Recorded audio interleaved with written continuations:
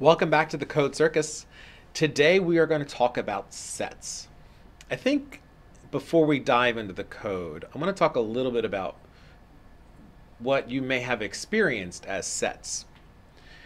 Uh, the set of all numbers is a set, like um, the uh, real number system, the whole numbers, integers, rationals, reals. Those are sets of numbers.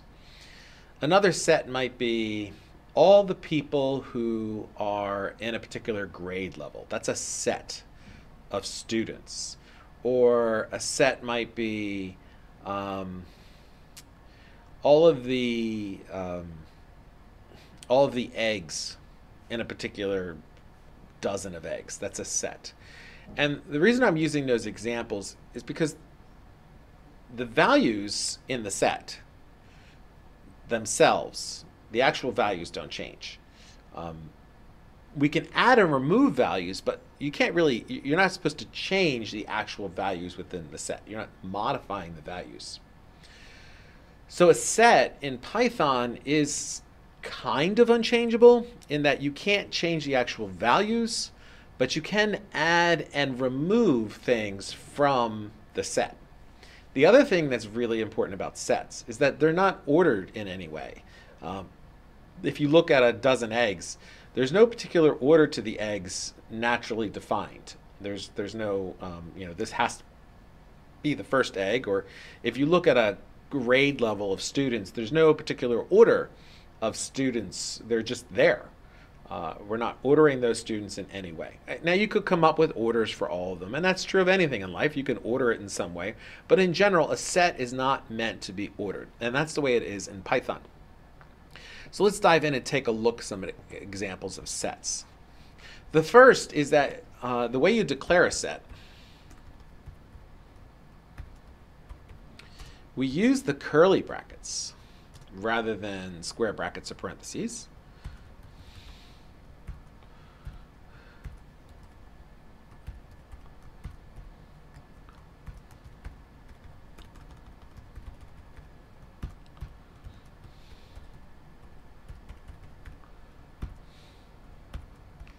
And we can print them out just like we did any of the other two organizations. So we can print out the set. Um, they are unordered, like I said. You can get the length of the set, though, so we can still use that length command. Just throw that in this print statement.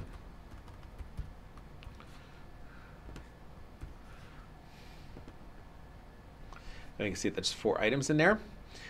Um, it can hold different data types, apple, banana, cherry, one, two, three, four, five, true, false, true, false. It, you can also mix and match strings, integer, and boolean types. And if we were to check the type of it and print out the type, it would say, as expected, that is, it is of the class set. We can also use the constructor like we did before with our other lists.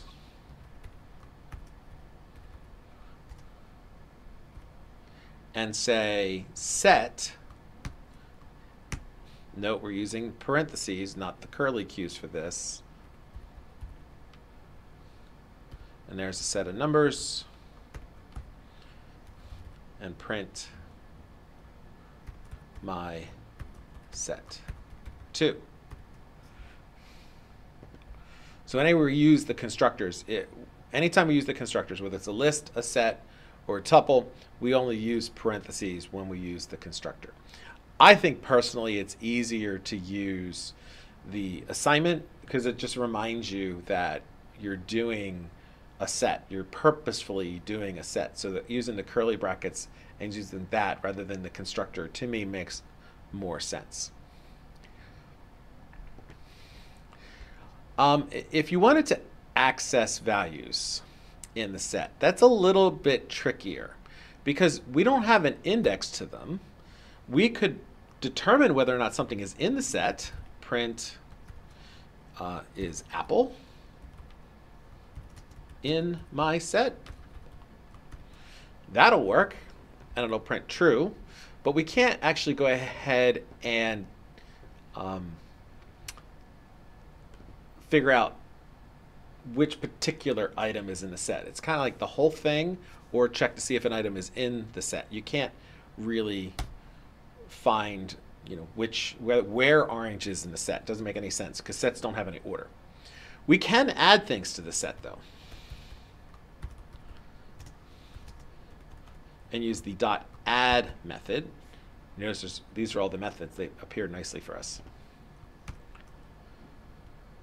Let's say we add, um, let's add another apple.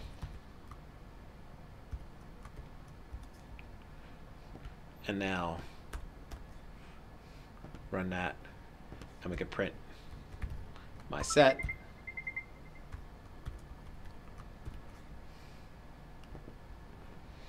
And we can see we now have, um, oh, well, that's interesting, isn't it? See, we did add my apple, but it's still only showing apple once in the set. Well, that's because you can add new items, but it doesn't really keep track of um, an order and the repeat. It doesn't do the duplicate for us. But it did put it at the end of the set. So that's kind of interesting.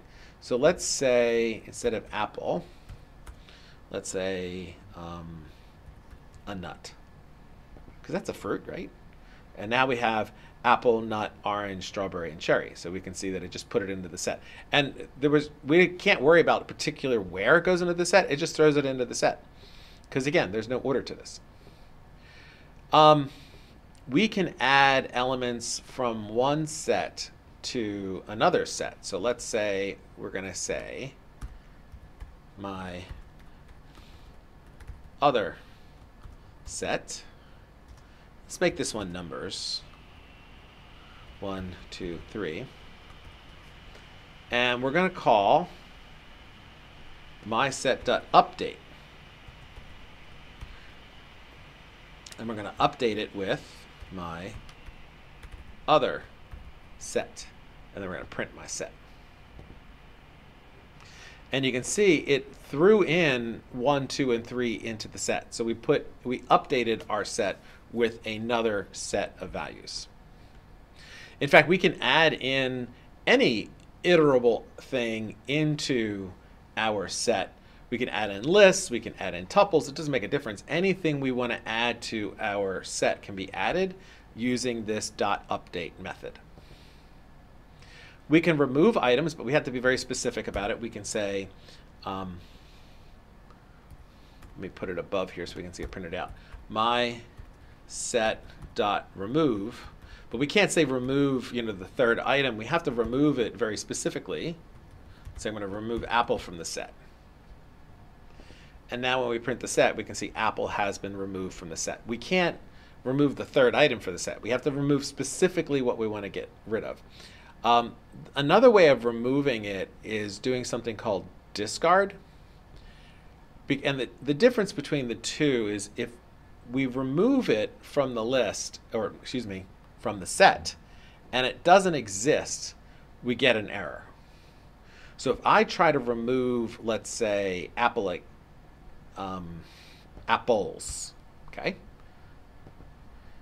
I get an error. Apples is not in the set. So that causes an error. And we really want to avoid errors. We don't want to end up having an error. So instead of using remove, we have this thing called discard. And if it's not in the set, it just isn't going to do anything. Because apples isn't there. Let me just show you that, that we're not actually getting an error. See, apples isn't there, so discard does nothing.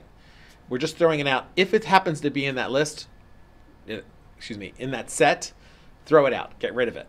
If it's not there, then don't do anything. So that can be useful if you don't know exactly what's in your set and you need to just check to see, we want to make sure it's not in there. We also have the pop method with set, and I know I said it's not ordered, but it does kind of keep track of which item was put in last. So if I do my set.pop and then print, actually let's print the value that's popped out. So it's going to take out the value and give us the value. And then if I print my set again,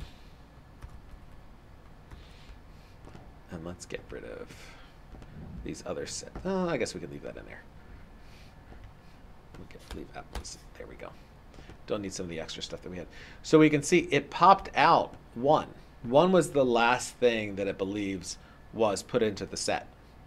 And then two, three, four, five, six, excuse me, two, three, and then strawberry, apple, and orange are cherry are still left in the set. I can clear a set just by doing dot clear, and that erases the whole thing. I can delete the set. Now this is differently than clearing. Deleting the set will totally delete the variable, so it doesn't exist at all. Clearing a set will produce something called an empty set. So for example, if I take my other set, let's do my other set dot clear and then print my other set. That's going to give me what's called an empty set. See? It's empty. There's nothing in it. it. Just says it's a set. If I delete it using the del command,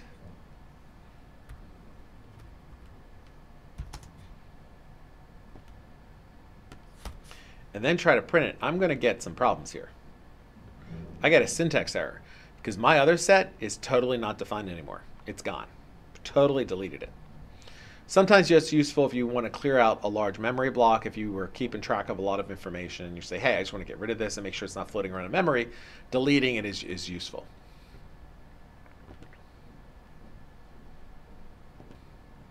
With all sets, we have some basic uh, set operators that we have used in other situations like math.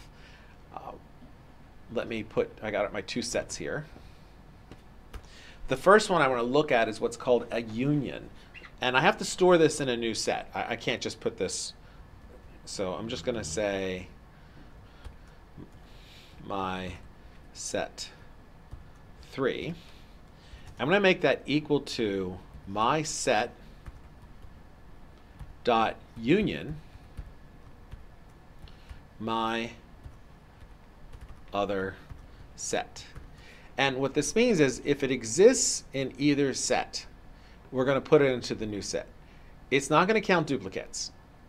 If it's, it's only going to put it in one time. So when I go ahead and run this, and I should have printed out.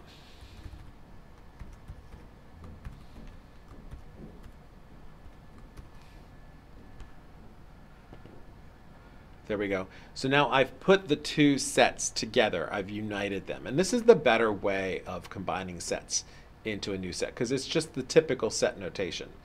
Um, if two sets happen to share some values, so let's say my set 3 we know has values, uh, we can do what's called the intersection. And the intersection will only tell me the things that are duplicates. So I know that my other set, I'm going to print this. Uh, let's create another set. my set 4. Just because I don't want to delete what's there. And I'm going to say my set 4 is equal to the intersection of the two sets. So I type that out my set 4 is equal to my set 3 dot intersection of my other set.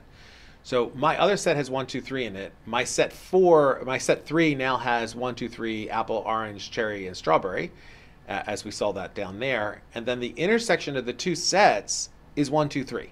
That's what an intersection means. Now we can also do an intersection update where it, it takes the things that are the same in one set and puts them back into um, the current set. Uh, be careful with intersection update. Make sure you're not overwriting sets that you want to keep.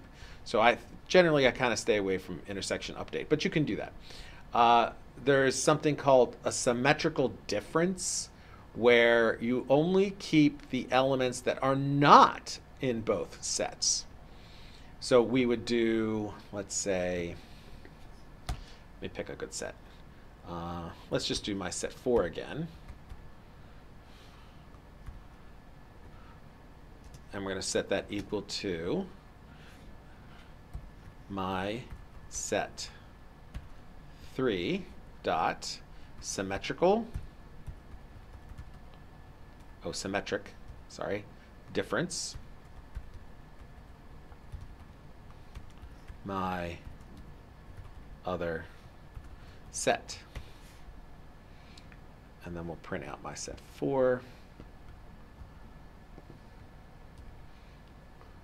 We're just, we don't need to do the intersection.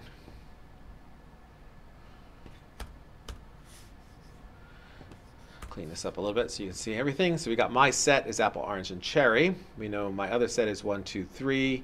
My set three is the union of those two sets. So it puts them all together. And then my set four is going to be only the things that are not the same in both sets, which would probably be orange, strawberry, apple, and cherry. There are some other methods that you have within sets. Um, you have uh, add, clear, copy, difference, difference update, discard, intersection, intersection update, is disjoint, which returns whether or not two sets have an intersection or not, is a subset, returns whether or not a set contains this set, is superset, returns whether this set contains a set or not, pop we talked about, remove we talked about, um, and then uh, that's all the methods that we have for sets. So that's your big lesson on sets. Uh, the next thing we're going to look at is a more complicated kind of version of a set called a dictionary. I'll see you next time thank you